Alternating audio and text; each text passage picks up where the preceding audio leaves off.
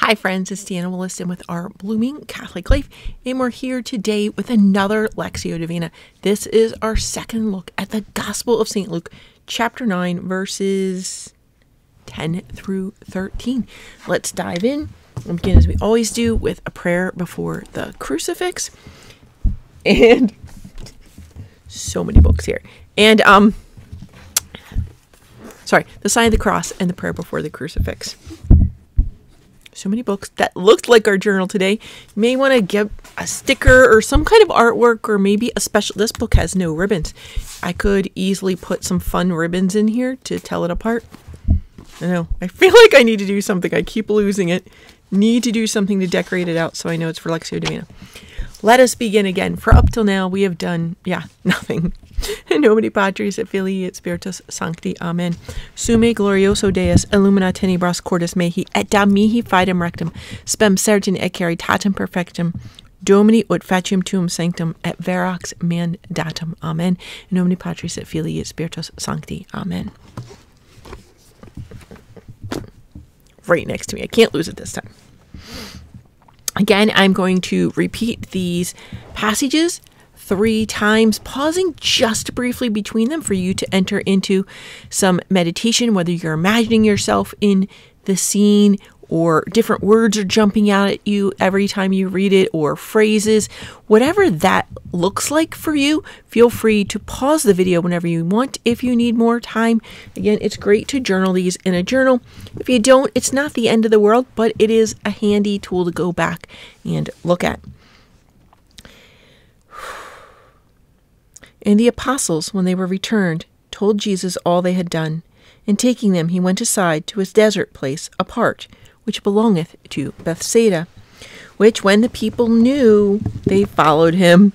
And they, he received them and spoke to them of the kingdom of God, and he healed them who had need of healing.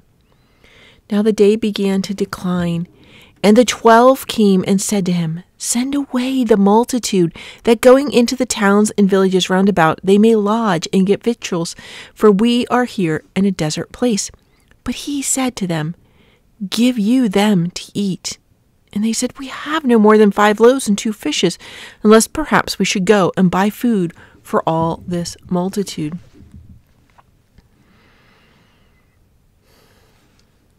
The apostles, when they were returned, told him all they had done, and taking them, he went aside to a desert place apart, which belongeth to Bethsaida. And when the people knew, they followed him, and he received them, and spoke to them of the kingdom of God, and healed them that needed healing. Then the day began to decline, and the twelve came and said to him, Send away the multitude, that going into the towns and villages round about, they may lodge and get victuals. For we are here in a desert place. But he said to them, Give you them to eat. And they said, We have no more than five loaves and two fishes, unless perhaps we should go and buy food for all this multitude.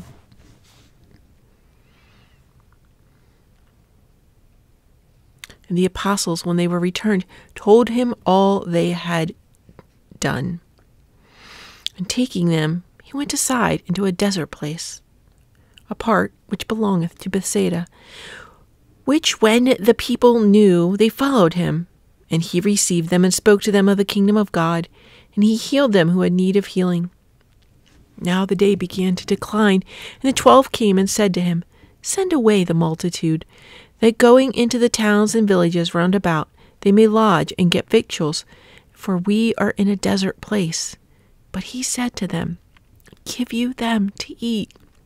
And they said, We have no more than five loaves and two fishes, unless perhaps we should go and buy food for all the multitude. You can see um, this has been affecting me like literally every time I've read it. Um, I'm just in, in a place right now and asking you to pray for our clergy, our priests, our deacons, our bishops, archbishops, cardinals, the Pope, and you can take that all the way down to our altar servers if you'd like, even though if they're not technically clergy, let's take it all down and then let's flow out to Christ's body, which is the church.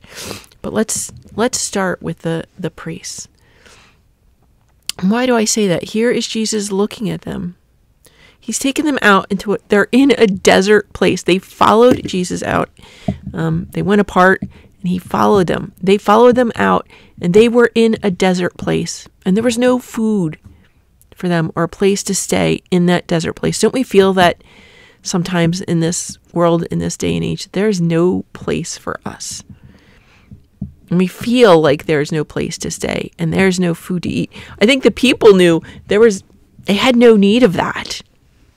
You don't hear the people demanding it. You hear the apostles getting nervous and saying there's no place for them to sleep and we don't have enough food to share.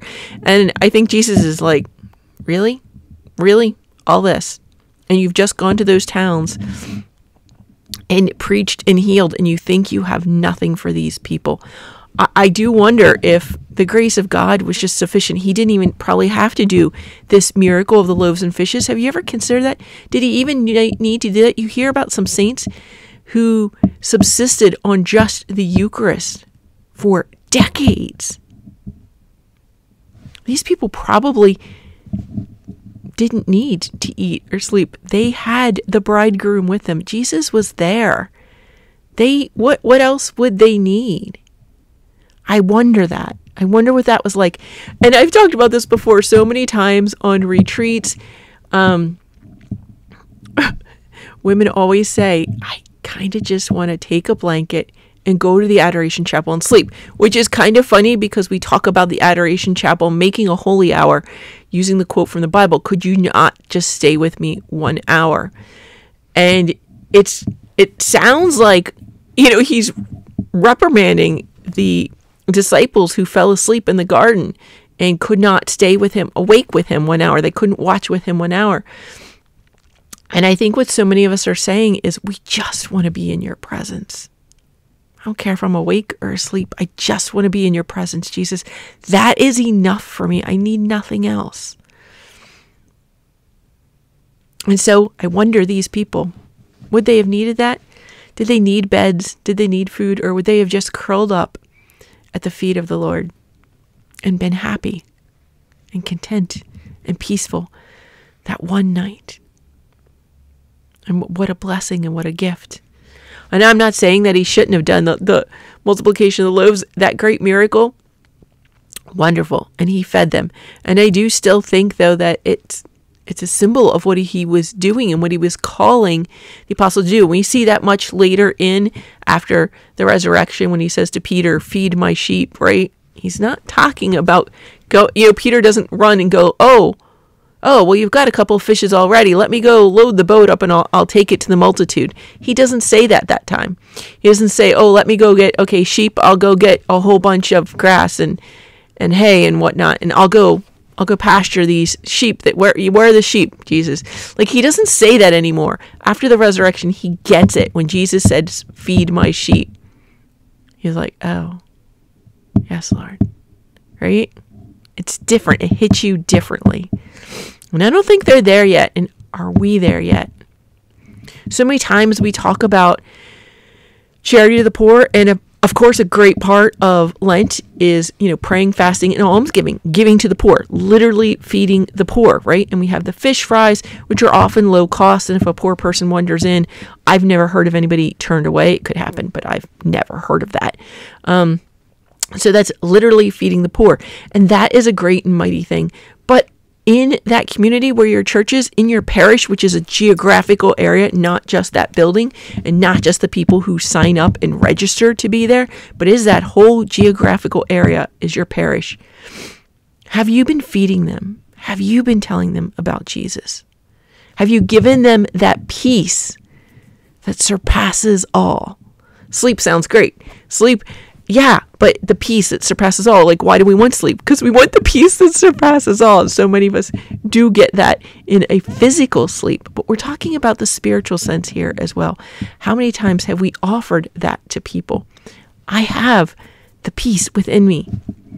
And you can see I'm still flustered by something that happened this week, which is more complicated and I can get to another time. I, I am, again, immensely immensely grateful for my spiritual direction program that made me take a retreat this year. Um, has to be somewhere in these two years, and I took that that long retreat. I don't think I could get through this time. This has been this is it's only been two months and it's been a long, long and wild ride. About about a month and a half that this has been going on. And um I I I think I, I think without this I I seem upset now, but I just can't imagine having done it without having had that retreat.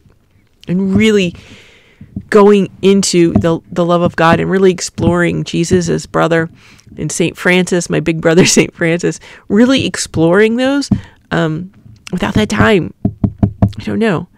So I'm going to look at you, friends, and I haven't heard of any priests watching this, but I know a number of secular Franciscans do, and so I am going to look at you and say, "Give you them to eat."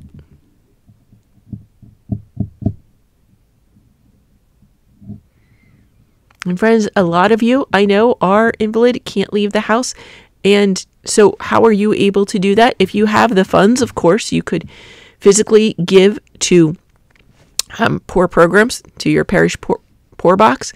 You can also donate straight to your parish to religious ed programs, to evangelization programs at your parish. You could sponsor some free tickets to the fish fry, right? You could also do that. I've heard of people giving um, if you have an exceptionally generous priest who likes to buy meals for the homeless or something, um, they, I heard of one time for his birthday, everybody gave him gift cards to various coffee shops and restaurants around town so that when he ran into somebody who was hungry, he was free to give them those gift cards. So that's another fun thing that you could do. Um, but as well, praying, praying for your parish, praying for your parish priest, praying for the people in your parish. This is a ministry I wanted to start and it got shot down. Um, but especially if you're an invalid, not not exclusively, but especially, or you're in a nursing home and you can't necessarily get out to the parish, or there's not a parish near you. Uh, maybe the priest only comes every every month or every two months, right? Get a hold of that parish bulletin. Whatever you have to do, if you ask, somebody in the parish will probably mail it to you. You can probably do that. Um, I know they love to send it to email, and that's not always the easiest for everyone to receive it, but they may be able to, to just mail you a physical one, or you could get a parishioner to even print one from the web. And I want you to pray over the ministries. You're going to have the list of the clergy, you're going to have the list of all the, the heads of committees, right? You're going to have the list of, like, if they're looking for people to help out in religious ed, you're going to have that. You're going to have all the events on there. You can pray over all those people and ministries in your parish that they will be able to give them them to to give you them to eat, right? So that they will be equipped with all the graces they need to do the work that needs to get done in your parish. And I don't want you to think that that's a lesser than ministry. I think that is an amazing ministry. Praying the parish bulletin is something that is so important. It is so wildly important. You have no idea, no idea how important that is. And I don't ever want you to feel less than if that's all you can do. Do it. If you have a parish that you went to years ago that is still in your heart, ask them to send you the parish bulletin. You can give them a donation, what is it, like $20 a year, so they'll be able to mail it to you or something like that. You know, think of it. Um, but you can and say, I'll pray for you. I tell you, those people will be eternally grateful. They may not even know you're doing it now, but they'll know it at, at you know the big judgment day when we get to see how everyone's lives and decisions affected us. They're going to see that and they're going to be blown away. You're going to be blown away with the fruits of all that labor. You're going to be blown away, friends. I guarantee. And you are just going to be overwhelmed. So consider that as a little ministry, the parish bulletin ministry. So I'm excited to hear you may not have gotten anything like that when you yeah, the book I set next to me just went flying. Um, you may not have been inspired or moved at all in that reflection. Go ahead and put your reflection below. Let me know if this has touched you, if this worked for you. Um, I need to go. I will talk to you later. Um, may God bless you and keep you. May make his face to shine upon you and be gracious unto you. And may the good Lord bless you. In Patris Filii Spiritus Sancti. Amen.